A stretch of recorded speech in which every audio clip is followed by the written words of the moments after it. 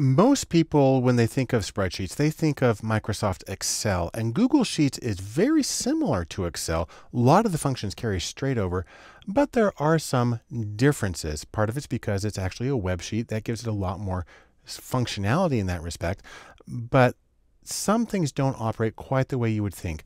If you want to make a bar chart and make one of the bars a different color, in Excel, all you got to do is click on that bar and manually change its color. But in Google Sheets, you have to do it differently. Say, for instance, I have my data here on social media followers and I want to draw attention to Instagram. Well, it turns out that the way to make Instagram's bar a different color than the others is to actually make a grouped bar chart.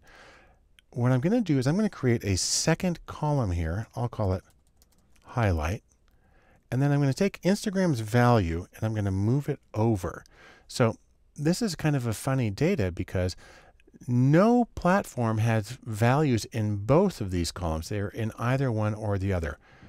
But watch how this works. I come to social media followers and I click insert chart and it makes by default a grouped bar chart, but it's a really funny looking one because everything's half width. It's expecting information from each of the columns. But if we come over here to stacking and we change it to standard, then we suddenly have what we want. There's a couple of things I want to change, however, that I think are important. Number one is I want to get rid of this legend. It actually creates confusion, so we get rid of that. And we need a real title. Social media followers by platform. And then I can delete this one here on the bottom by just deleting its text over here.